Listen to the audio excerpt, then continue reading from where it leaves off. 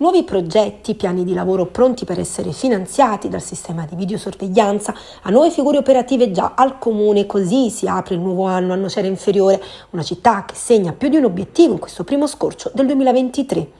Si punta anzitutto alla sicurezza del territorio. È stata infatti presentata domanda di ammissione a finanziamento per l'installazione di sistemi di videosorveglianza per la prevenzione ed il contrasto dei fenomeni di criminalità nell'ambito dei patti per la sicurezza urbana sottoscritti tra il prefetto ed il sindaco sulla base di quelle che sono le risorse finanziarie fissate in 36 milioni di euro per l'anno 2022 secondo le modalità indicate dal Ministero dell'Interno di concerto con il Ministro dell'Economia e delle Finanze.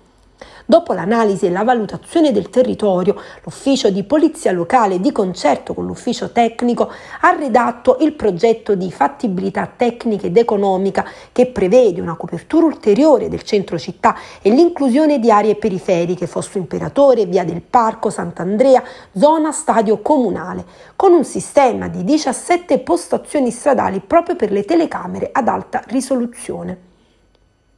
Stiamo lavorando concretamente, ha detto il sindaco Paolo De Maio, per rispondere al problema di sicurezza in città, per scoraggiare gli sversamenti, furti ed atti vandalici. E novità importanti nell'ambito sociale S1 a seguito delle stabilizzazioni dei mesi scorsi e grazie allo scorrimento della graduatoria sono entrate in servizio a tempo determinato due nuove unità idonee una sociologa ed un assistente sociale sempre per le politiche sociali. È stato anche pubblicato l'avviso per l'attivazione dei progetti personalizzati per il dopo di noi, indirizzati a persone con disabilità grave e prive di sostegno familiare. Le proposte progettuali potranno essere presentate entro e non oltre il 16 gennaio prossimo. Dovranno riguardare percorsi programmati di accompagnamento per l'uscita dal nucleo familiare di origine, interventi di supporto alla domiciliarità in soluzioni alloggiative e azioni di realizzazione di soluzioni abitative innovative.